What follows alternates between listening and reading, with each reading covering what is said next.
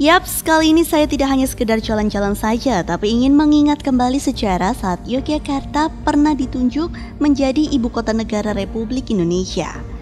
Monumen Jogja Kembali atau populer dengan sebutan Monjali merupakan salah satu simbol berfungsinya kembali pemerintahan Republik Indonesia dan sebagai tetengar sejarah penarikan mundur tentara Belanda dari ibu kota Yogyakarta pada tanggal 29 Juni 1949.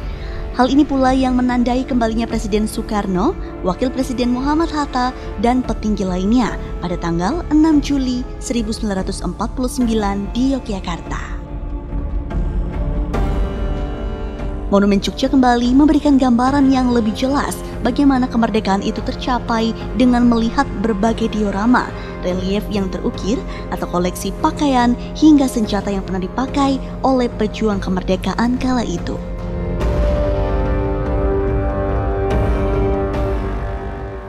Sejarah berdirinya Monjali ya karena peristiwa Jogja kembali itu sangat penting bahwa dulu Yogyakarta itu pernah menjadi ibu kota.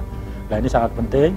Kemudian eh, para pejabat waktu itu wali kota Yogyakarta yaitu Bapak Kolonel Sugiharto menggagas ide berdirinya itu supaya eh, Jogja kembali itu akan dikenang selamanya karena sangat penting. Yeah pengindikan di sini koleksi kita di tahun 45 sampai 49 dalam rangka mempertahankan kemerdekaan Republik Indonesia. Jadi kita sudah merdeka, tapi kemerdekaan tidak diakui oleh Belanda. Nah, itu eh, kita sebagai ibu kota mau direbut oleh Belanda lagi. Nah, koleksi itu adalah koleksi 45 sampai 49 ya. Ada empat museum yang kita simpan di sini ya. ya.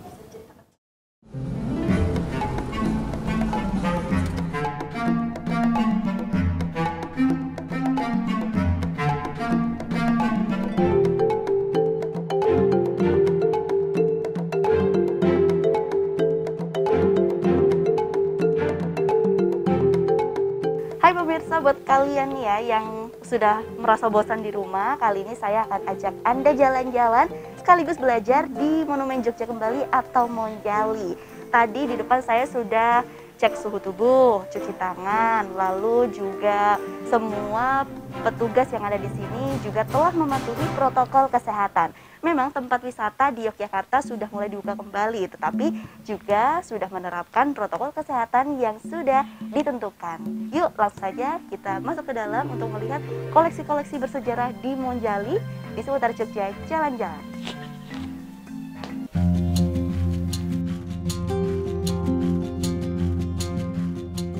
Biasanya di masa libur sekolah atau akhir pekan, Monjali menjadi tempat yang pada dikunjungi wisatawan baik dari dalam maupun luar wilayah Yogyakarta. Namun berbeda pada tahun ini yang harus dihadapkan dengan merebaknya COVID-19. Sektor pariwisata Yogyakarta terhenti. Monjali pun sempat berhenti beroperasi hampir 4 bulan dan akhirnya buka kembali pada 6 Juli 2020.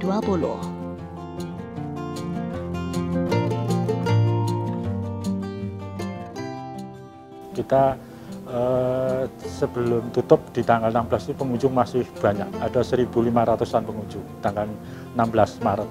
Kemudian 17 Maret eh, diinfokan bahwa tempat-tempat wisata eh, supaya tutup, kita 18 tutup, Mbak. Nah, jadi 18 Maret sampai bulan Juli ini kita bukanya. Nah, kenapa kita buka? Karena eh, kita sudah disertifikasi oleh tim gugus Sleman, sudah uh, merekomendasikan bahwa Monjali bisa buka dengan menerapkan uh, protokol kesehatan. Ya istilahnya tidak buka keseluruhan, tapi uji coba buka dengan terbatas. Jadi masih terbatas. Uh, kita menerima kunjung dengan kunjungan dengan terbatas.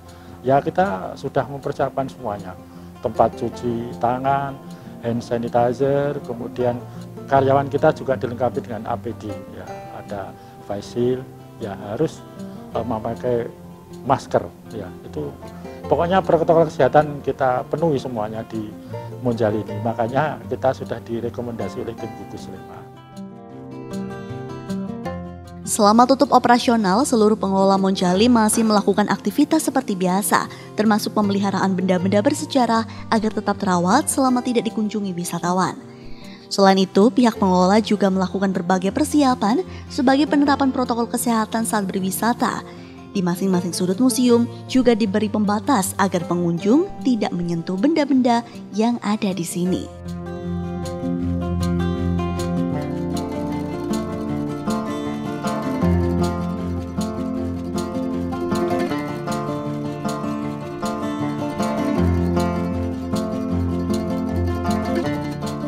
Meski baru dibuka, pihak pengelola berharap pengunjung bisa datang ke Monjali tidak hanya sekedar untuk wisata atau jalan-jalan bersama kerabat dan keluarga. Di sini pengunjung juga bisa belajar tentang pengetahuan atau sejarah. Tidak perlu khawatir berkunjung ke tempat ini karena pihak pengelola telah menyiapkan fasilitas pendukung penerapan protokol kesehatan pencegahan COVID-19 termasuk masih membatasi jumlah kunjungan selama masa pandemi karena sejarah itu sangat penting ya Mbak ya untuk menghancurkan suatu negara ada tiga teori. Satu eh, kaburkan sejarahnya. Dua hilangkan bukti-bukti sejarah itu. Kemudian yang terakhir putuskan dengan eh, para leluhurnya. Nah itu eh, kita mempromosikan itu supaya tidak terjadi ya. Jadi ya harapan saya supaya generasi milenial ini datanglah ke museum untuk eh, mencari ilmu ya ilmu banyak sekali ilmu-ilmu yang didapat di museum ya, ya banyak edukasi-edukasi yang kita berikan di sini ya. jadi harapan saya walaupun dalam pandemi kita tetap uh, belajar sejarah untuk mempertahankan NKRI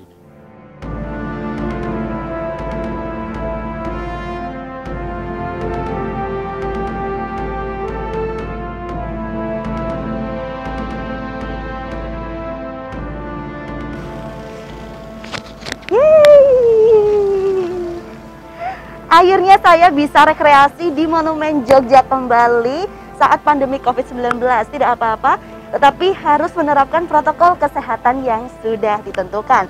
Untuk Anda nih sobat wisata yang ingin jalan-jalan terutama ke Monjali, Anda bisa berkunjung di sini mulai dari jam 9 pagi sampai jam 2 siang. Nah, untuk akhir pekan Anda bisa berkunjung ke sini sampai dengan jam 4 sore. Jangan lupa ya, tetap menerapkan protokol kesehatan yang sudah ditentukan. Ke mana langkah saya akan menuju selanjutnya? Ikuti seputar Jogja Jalan-Jalan. See ya!